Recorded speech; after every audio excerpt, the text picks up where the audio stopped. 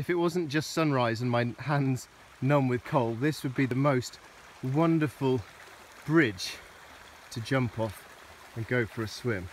Just look at this gap here. Whoa. A beautiful, clear, deep pool. Galicia is amazing. It's like Yorkshire with sunshine. I love it.